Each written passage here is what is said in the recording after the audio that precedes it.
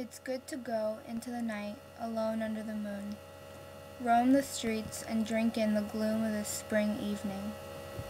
The moon sleeps, not a breeze, flowers open to be forgotten, roses ignite the dark on prickly stems, a tapestry of pestilence.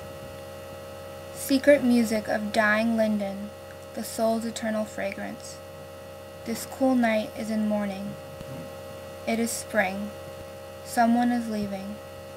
I've wandered off course, hidden yet familiar.